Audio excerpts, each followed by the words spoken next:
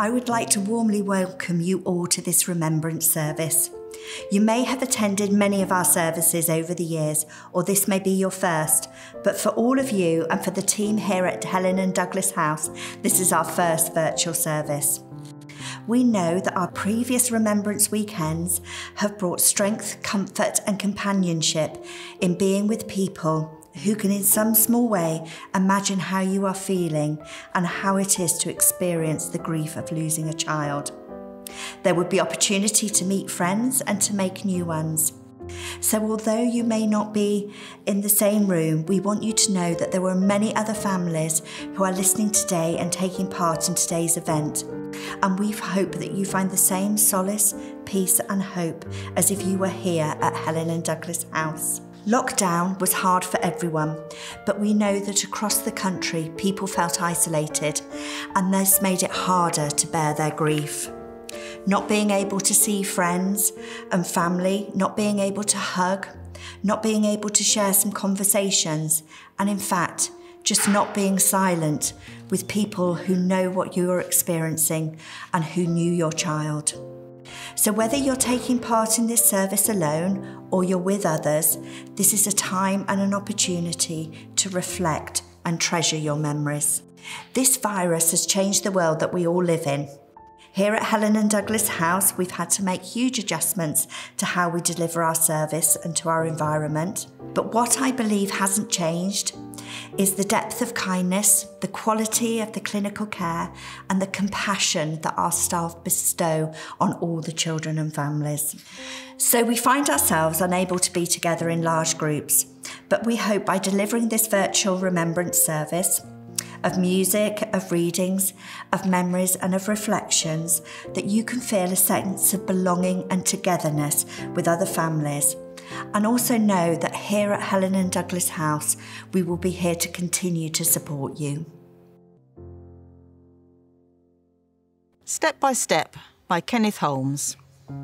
Some days I need to designate as days of small things because small things are all I can manage on them. So it might be a matter of I can't do the whole garden, but I can plant one clematis. I can't answer all my letters, but I could write one or two. I can't face everyone, but I could trust one person. I can't solve all my dilemmas, but I can make a list and see whether I could tackle one of them. I can't face my pent up anguish all at once but I could acknowledge and feel a bit of it and release some of the pressure. I can't plan out my whole future, but I could decide on the next small step. I can't stop international conflict, but I could send a loving card or letter to help cement or restore a relationship I care about. I can't tidy my whole house, but I could sort out one file, drawer or cupboard. Just for today, I will have a quiet half hour all by myself and relax. During this half hour, sometime, I will try and get a better perspective on my life. Just for today, I will be unafraid. Especially, I will not be afraid to enjoy what is beautiful and to believe as I give to the world, so the world will give to me.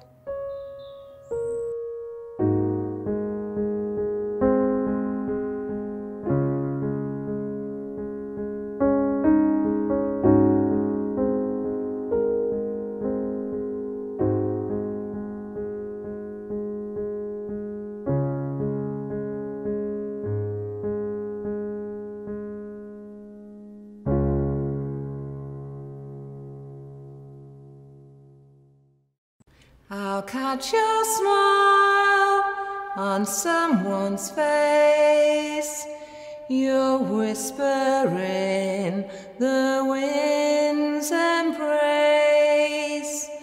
Through diamond stars and songs and dreams, I find your love in everything.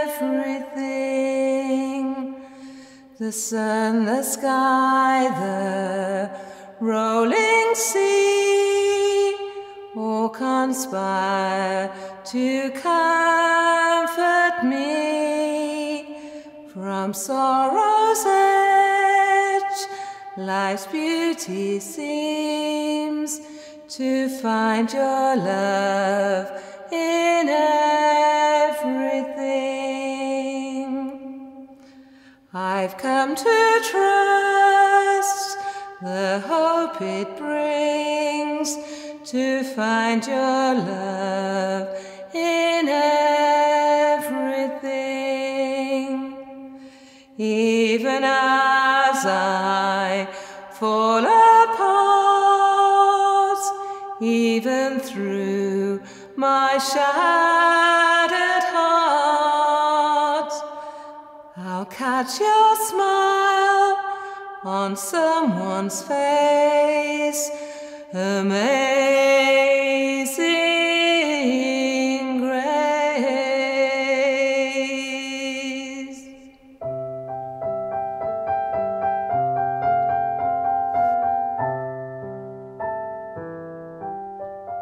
He is Gone by David Harkins. You can shed tears that he is gone, or you can smile because he has lived. You can close your eyes and pray that he will come back, or you can open your eyes and see all that he has left. Your heart can be empty because you can't see him, or you can be full of the love that you shared. You can turn your back on tomorrow and live yesterday, or you can be happy for tomorrow because of yesterday. You can remember him and only that he is gone, or you can cherish his memory and let it live on. You can cry and close your mind, be empty and turn your back, or you can do what he would want. Smile, open your eyes, love, and go on.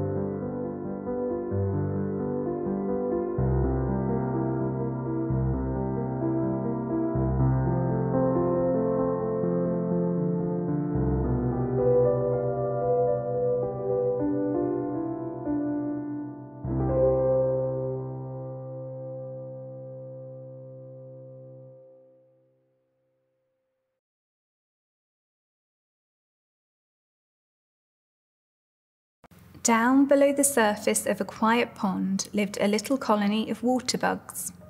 They were a happy colony living far away from the sun. For many months, they were very busy scurrying over the soft mud on the bottom of the pond. They did notice that every once in a while, one of their colony seemed to lose interest in going about with its friends. Clinging to the stem of a pond lily, it gradually moved out of sight and was seen no more. Look, said one of the water bugs to another. One of our colony is climbing up the lily stalk. Where do you suppose she is going? Up, up, up she went slowly. Even as they watched, the water bug disappeared from sight. Her friends waited and waited, but she didn't return. That's funny, said one water bug to another. Wasn't she happy here? asked a second water bug. Where do you suppose she went? wondered a third. No one had an answer. They were greatly puzzled. Finally, one of the water bugs, a leader in the colony, gathered his friends together. I have an idea. The next one of us who climbs up the lily stalk must promise to come back and tell us where he or she went and why. We promise, they said solemnly. One spring day, not long after, the very water bug who had suggested the plan found himself climbing up the lily stalk. Up, up, up he went. Before he knew what was happening, he had broken through the surface of the water and fallen onto the broad green lily pad above. Weary from his journey, he slept. When he woke, he looked about with surprise. He couldn't believe what he saw. A startling change had come to his old body. His movement revealed four silver wings and a long tail. Even as he struggled, he felt an impulse to move his wings. The warmth of the sun soon dried the moisture from his new body. He moved his wings again and suddenly found himself up above the water. He had become a dragonfly. Swooping and dipping in great curves, he flew through the air. He felt exhilarated in the new atmosphere. By and by, the new dragonfly lighted happily on a lily pad to rest. It was then he chanced to look below to the bottom of the pond. Why, he was right above his old friends, the water bugs. There they were, scurrying about just as he had been doing some time before. Then the dragonfly remembered the promise. The next one of us who climbs up the lily stalk will come back and tell where he or she went and why. Without thinking, the dragonfly darted down. Suddenly, he hit the surface of the water and bounced away. Now that he was a dragonfly, he could no longer go into the water. I can't return, he said in dismay. I tried, but I can't keep my promise. Even if I could go back, none of the water bugs would know me in my new body.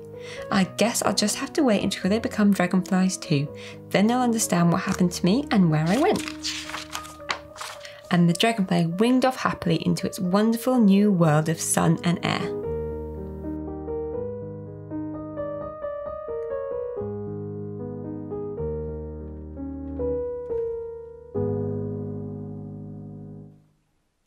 May the road rise with you. May the wind be always at your back. May the sun shine warm upon your face. May the rain fall soft upon your fields. And until we meet again, and until we meet again. May God hold you in the hollow of his hand. May God hold you in the hollow of his hand.